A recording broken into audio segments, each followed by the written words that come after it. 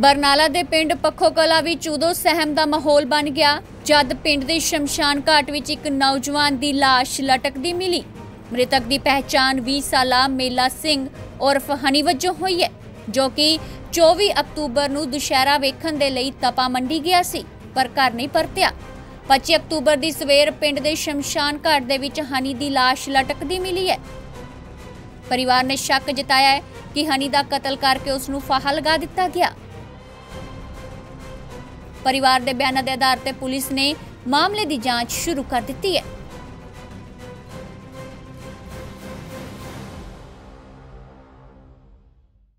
ਇਹ ਜੀ ਦਸ਼ਹਰੇ ਤੇ ਗਿਆ ਸੀਗਾ ਮੁੰਡਾ ਤੇ ਮੁੜ ਕੇ ਅਸੀਂ ਭਾਲ ਕਰੀ ਦੀ।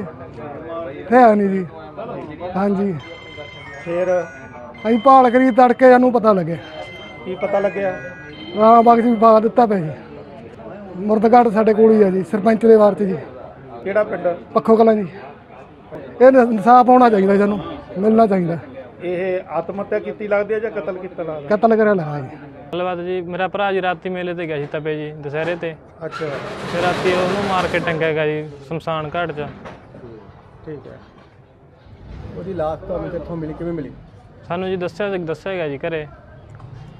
ਕਿ ਕਿੱਥੇ ਮਿਲੀ ਲਾਸ਼ ਫਿਰ? ਸ਼ਮਸ਼ਾਨ ਘਾਟ 'ਚ ਮਿਲੀ ਸੀ ਜੀ। ਮੰਗ ਕੀ ਕਰਦੇ ਸਾਨੂੰ ਇਨਸਾਫ ਮਿਲਣਾ ਚਾਹੀਦਾ ਜੀ। ਸਾਨੂੰ ਜੀ ਸਵੇਰੇ ਪਤਾ ਲੱਗਿਆ ਗਾ ਜੀ ਬੱਕਰੀਆਂ ਵਾਲੇ ਨੇ ਦੱਸਿਆ ਗਾ ਜੀ ਉਧਰ ਜਾਂਦੇ ਸੀਗੇ ਬੱਕਰੀਆਂ ਲੈ ਕੇ।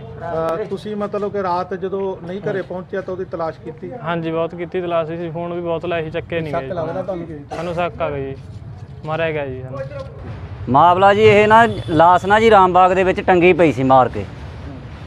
ਤੇ ਇਹਨਾਂ ਨੇ ਜੀ ਰਾਤ ਭਾਲ ਭਾਲ ਬਹੁਤ ਕਰੀ ਜਿੱਥੇ ਆਏ ਨੇ ਇਹ ਜੀ। ਇਹ ਦੁਸਹਿਰੇ ਤੋਂ ਆਉਂਦੇ ਕਰ ਹਨੇਰਾ ਹੋ ਗਿਆ ਜੀ ਇਹਨਾਂ ਨੂੰ ਬਹੁਤ ਜ਼ਿਆਦਾ ਭਾਲ ਕਰੀ ਇਹਨਾਂ ਨੂੰ ਕੋਈ ਕਿਤੋਂ ਲੱਭ ਨਾ ਹੋਈ। ਤੜਕੇ ਅੰਮ੍ਰਿਤ ਵੇਲੇ ਜੀ ਇਹਨਾਂ ਨੂੰ ਥਿਆ ਇਹ ਜੀ ਲਾਸ਼ ਟੰਗੀ ਪਈ ਸੀ ਰਾਮਬਾਗ ਦੇ ਵਿੱਚ ਬਾਸੋ ਪੱਤੀ ਵਾਲੇ। ਸਰਪੰਚ ਦੇ ਬਾਰ ਨੂੰ ਸਾਹਮਣਾ ਜਿਹੜਾ ਜੀ। ਉੱਥੇ ਟੰਗੀ ਪਈ ਲਾਸ਼ ਨੂੰ ਦੇਖ ਕੇ ਬੱਕਰੀਆਂ ਵਾਲਾ ਗਿਆ ਸੀਗਾ ਜੀ ਉਹਨੇ ਘਰੇ ਪੜਤਾਲ ਕਰੀ ਜੀ ਮਾੜੀ ਮੋਟੀ ਨਹੀਂ ਪ- ਕੋਈ ਪਤਾ ਨਹੀਂ ਸੀ ਲੱਗਾ ਜੀ। ਇਹ ਸਾਨੂੰ ਜੀ ਮਾਰਿਆ ਮਾਰ ਕੇ ਟੰਗਿਆ ਲੱਗਦਾ ਜੀ। ਕਿੰਨੀ ਉਮਰ ਸੀ ਇਹਦੀ? 20 ਸਾਲਾਂ ਦੀ। ਹੈਗੀ ਸੀਗੀ ਜੀ ਲਗਭਗ। ਕੰਮ ਕੀ ਕਰਦਾ ਸੀਗਾ? ਇਹ ਜੀ ਤੂੜੀ ਦਾ ਕੰਮ ਕਰਦਾ ਸੀ ਭੂੰਗਲੀਆਂ ਟਰਾਲੀਆਂ ਤੇ ਜਾਂਦਾ ਸੀਗਾ ਜੀ। ਮੰਗ ਤਾਂ ਇਹੀ ਕਰਦੇ ਹਾਂ ਜੀ ਅਸੀਂ ਸਰਕਾਰ ਤੋਂ ਜੀ ਇਹਦਾ ਜੀ ਕੋਈ ਇਨਸਾਫ ਹੋਵੇ। ਬਾ- ਮਨ ਦੀ ਕਾਰਵਾਈ ਕਰੀ ਜਾਵੇ ਜੀ। ਪਰਿਵਾਰ ਦੇ ਵਿੱਚ ਬਾਕੀ ਕੌਣ ਹੈਗਾ? ਬਾਕੀ ਜੀ ਇੱਕ ਬੱਚਾ ਹੈਗਾ ਜੀ ਇੱਕ ਇਹਦੀ ਮਾਤਾ ਗਈ ਜੀ ਦੋ ਰਹਿ ਗਏ ਜੀ। ਪੁਲਿਸ ਨੂੰ ਤਲਾਹ ਦਿੱਤੀ ਹੋਈ ਹੈ ਜੀ।